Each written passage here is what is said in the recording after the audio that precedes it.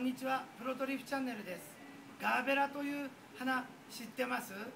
このような中大輪のマーガレットに似た花ということです。まあガーベラには大きく分けるとガーデンガーベラ庭に植えて大丈夫なガーベラとこのようにポットガーベラといって鉢で楽しむという種類のガーベラがあります。今回はポットガーベラの育て方について紹介します。お日様が大好きですからよく日に当てる。そして水は乾いたらやるということなんですが上からかけてしまうと花の元株元に水がかかると腐りやすくなるのでちょっとこう葉っぱを持ち上げてこの辺りから水やりはしてください。それと加湿が嫌いですから乾いてからしっかりと水をやるということ。それと次々と花が咲いてくるので傷んだ花は早めに切る。取る。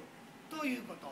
それと次々と花が咲くので月23回は水溶性の肥料をやってください。